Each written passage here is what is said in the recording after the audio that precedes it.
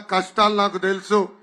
నెల్లూరు జిల్లాలో దాదాపు మూడు వేల నాలుగు వందల కోట్ల రూపాయలు ఒక వరి రైతులే నష్టపోయారు. చంద్రబాబు నాయుడు గారి హయాంలో పెట్టుబడి ఇరవై వేల రూపాయలు అయితే ఈ సైకో జగన్ హయాంలో ఆ పెట్టుబడి నలభై వేల రూపాయలకి పెరిగింది.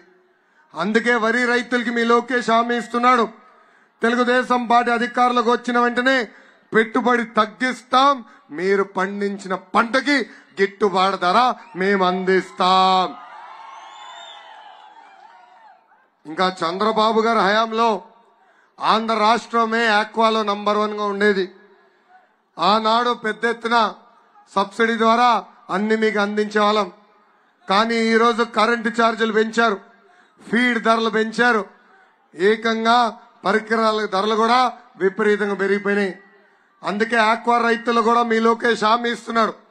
తెలుగుదేశం పార్టీ అధికారులకు వచ్చిన వెంటనే గతంలో ఎట్లయితే సబ్సిడీ ద్వారా మీకు అన్ని అందజేశామో అదే విధానం మేము తీసుకొస్తాం.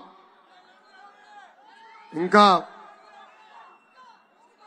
వస్తున్నా వస్తున్నా వస్తున్నా.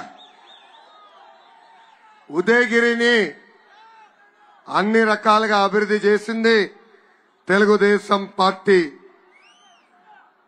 అయినా కూడా మన ఎన్నికల్లో